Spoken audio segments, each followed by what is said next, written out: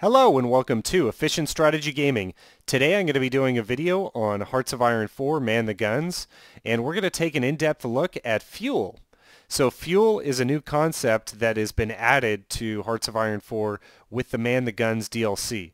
And as you can see here, uh, it shows some oil barrels here and a status bar. So when the status bar is green, that gives you a quick idea about how much oil you have in your total uh, fuel supply. So you're going to see a few numbers here. Current fuel, 653K. So I'm not sure if that's barrels. Daily gain, 1.1K. So you have an idea of how much you have and how much uh, is coming in. And then it even breaks it down more than that. You have a base gain of 48. Still not quite sure what that is. And then you have a gain from refineries. It says 105 and then 18 from your raw resources that you're getting in here. And I am getting 10 from my territory that I own. And then I'm getting 16 in from imports.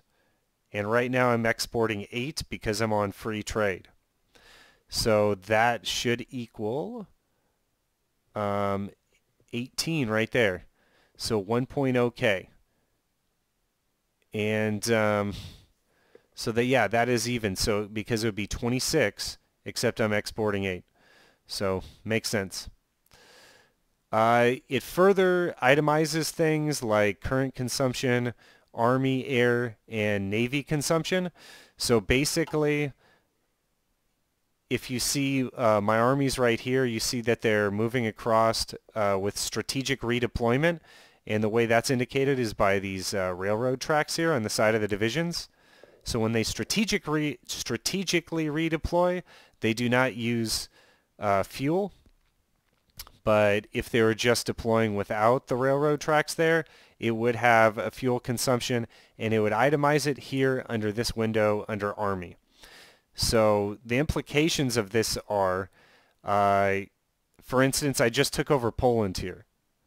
So I'm going to have to worry about even a small war that's only two weeks, how much fuel I use. Do I want to leave half my airplanes at home? Do I want to leave my Navy at home? Uh, how many Panzer divisions do I want to deploy? You know, all that is going to come into uh, to be very important factors. Oil, hands down, was the most important resource in World War II, and now it's the most important resource in Hearts of Iron 4. I really like the change because now I'm going to have to worry about, wow, I just invaded Poland. Half my fuel supply is gone. Could you only imagine how much fuel supply is going to be gone after I conquer uh, France and the Low Countries? Like, it's going to be, I'm definitely going to run out of fuel, I can tell you. And there's no way I'm going to be able to run a Navy. So you really have to plan things out way ahead of time. Day one, when you start the game as Germany, you need to think about how many fuel supply silos you're going to need. So if just this little war used up all that fuel, my fuel capacity is 1.2 million, what if I'm starting Operation Barbarossa? So I can only imagine I'm going to need a full capacity of about 5 million, whatever that is. If 5 million means oil barrels, then we're talking about 5 million oil barrels. It doesn't really uh, say the units here. I don't see where the units are. Maybe someone can help me out in the comments below. But day one, you're you're basically thinking about this arc of what what do you want to accomplish and where do you want to be. If you're going to do the full World War II thing and you're going to be attacking Russia, you need this to be full on day one of Operation Barbarossa, and you're going to need I would say at least 5 million fuel capacity.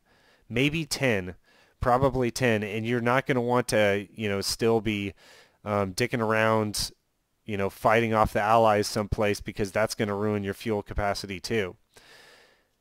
So I hope this helps uh, explain the new concept in Hearts of Iron 4 Man the Guns.